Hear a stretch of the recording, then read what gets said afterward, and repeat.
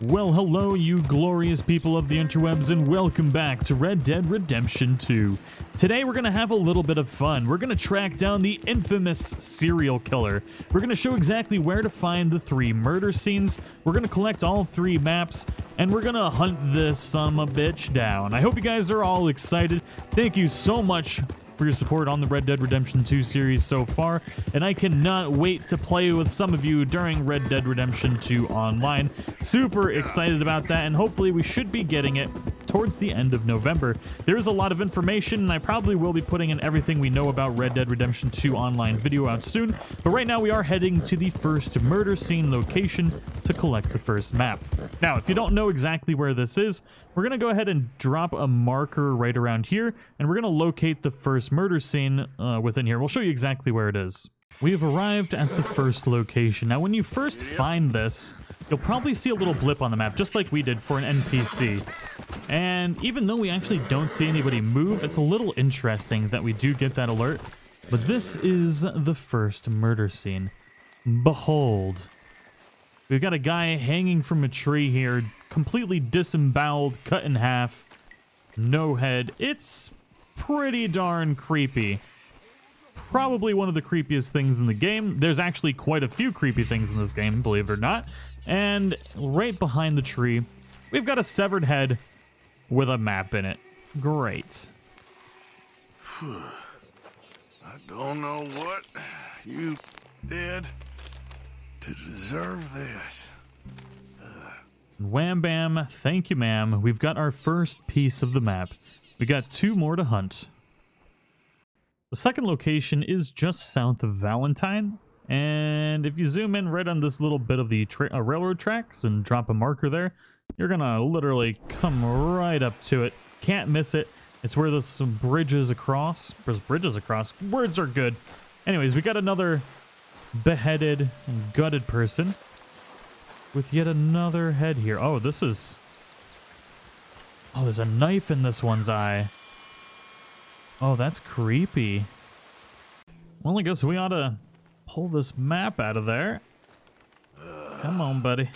Through the eye, too. Oh, no, it just fell off.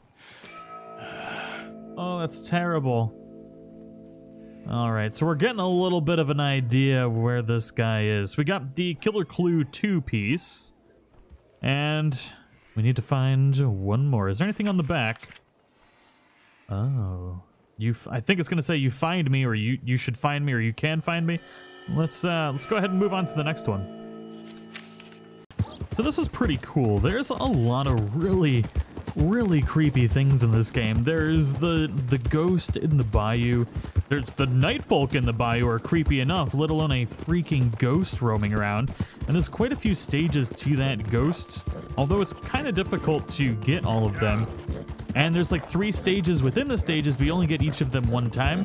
It's pretty interesting. I'm actually working on recording all of that right now, uh, but it takes a couple days in between each interaction and it's it's really cool. So keep an eye out for that on the channel. But obviously, we'll be trying to murderize all the night folk here as well. There's a couple different interaction with them, as well as being able to take them all down. So keep an eye out for a lot of these uh, little things inside of Red Dead Redemption that are just amazingly cool details that really flesh out this amazing world. But we're heading to the next clue, which, if we open our map, is all the way here just southwest of Wallace Station, and we're going to search around here for it, but it should be in this general area. Oh man, look at all those birds. So when you're looking for these locations, just make sure to keep an eye out on your mini-map for a little blip on your map, but this exact spot is right here. So drop a point right there, literally just south of the Wallace Station, and we're going to find another murderized person. Do you see all the blood and gore? Now you can even cut these guys down. Well, you can shoot the ropes down. Well, this guy's head on a rock here. These poor people. Had a pretty bad day. Almost as bad as when I got goaded in the Butcher's Creek. Oh god, I didn't mean to climb on the dead head. Jeez, I just wanted to, just wanted to expect the note. Oh, Jesus. some sick trend? Oh man. 63432. Oh, to open a lock, huh? Interesting. Ah, yeah. So, can you find me? Well, let's go ahead and see if we can, shall we? So we got the piece together map. Let's see if we can actually open this bad boy, meow. There we go. So we gotta cross a bridge, go through the woods, and we're gonna find a derelict building that we can sneak inside, huh? Use the map to locate the killer's hiding place. Yeah. Well, let's go murder us a serial killer, huh? Well, this is something I've never really noticed before. Uh, I set a marker next to Lunky's cabin, which is where we need to go. And I slept until night, and then there's a lot of X's here on the map, which I've never seen there before. I find that Yeah. kind of interesting. We're gonna go ahead and check out this guy's house now that it's nighttime. Although I kind of want to just... Is this where that was? No, no, no. I'm going the wrong way. I'm losing my mind, but... I must have just drawn that on the map. I'm not exactly sure what all those X's are. Watch them be like all ghosts or something. Easy. Interesting. Anyways, well, we gotta go over to Lucky's Easy. cabin. Which somehow we got all sorts of turned around. We gotta get over there. And to do that, we need to take this bridge, which is just over yonder. Of course, we're doing this at night, the most difficult time to try and do this. Stupid deer, I hope you fall off the cliff. That was mean and unnecessary, most likely.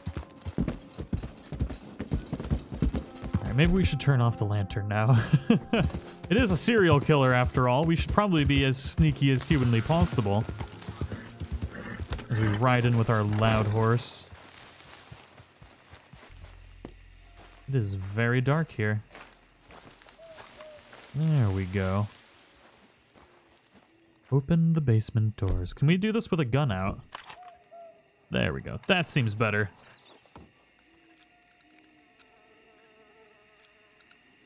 Come on, baby. Is anybody gonna sneak up behind us? Oh no. Oh, great. Explore the basement. This has never gone bad before. Can we capture this dude? Oh, it's terrible in here. Oh my god, how many people has this guy killed? And why does he love gutting them so much? Just save some pieces? Oh man, is there anything in here we can take? Maybe like some skulls or something? As creepy as that sounds. Gonna get spooked by my own shadow. Oh, there's some stuff on the table there. Hello? Creepy serial killer person? Eliza Bloom, huh? Oh shit. Inspect the letter. There's definitely somebody in here. I should not be inspecting the letter first. Dear Mr. Editor, I must say I'm alarmed by the paucity of coverage your August journal has decided dedicated to the recent killings in the region. I can read. The perpetrator of these crimes is clearly a man of great intelligence, power, and no small amount of cunning. He represents a clear and present danger to all readers of your publication. You must, you, yeah, you most probably to the writers, what? And most probably to the writers. Dear Mr. Editor, I must say I am alarmed by the paucity of coverage your August journal has dedicated to the recent killings in the region. The perpetrator of these crimes is clearly a man of great intelligence, power, and no small amount of cunning.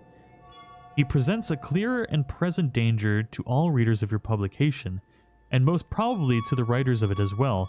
I would suggest you begin to treat him as and his creations with the reverence that they deserve. God help us alls. God help us alls. Yours, concerned citizen. I can read, I promise. Oh, so we got another letter here. Can we take this? I don't want the bourbon. Well, I do want the bourbon, but I'm full on bourbon, so I would much rather have the letter. There we go. My dear Edmund, what has gotten into you of late? Our dinners together, which were once such a pleasure to me, have become a terrible strain.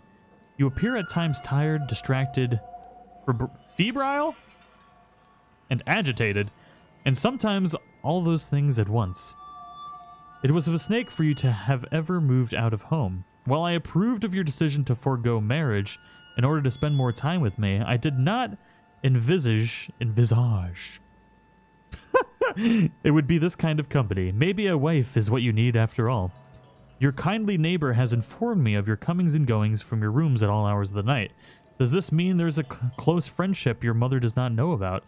I hope your taste in companionship has improved these past years, but I shall keep an open mind. I should like an explanation of all of this from you presently. Your loving and concerned mother. P.S. I hope you're eating and sleeping and taking the laudanum Dr. Finkel's gave you. That should improve your nerves somewhat. Great. Super duper great. He's gonna be behind me when I... Okay, thank God. Alright, anything over here? I think we got... There's cigarettes. We need to smoke one of our premium cigarettes. Oh, great. Oh, no. Oh, no. Oh, this is terrible. Sweet baby Jesus. I just heard something. Like a creaking. Inspect the knife. Oh, shit! Holy shit biscuits. Have you come for me? Or was this all nasty surprise? Or maybe it's both. Maybe it is a nasty surprise, even though you knew I was going to be here. Which is it?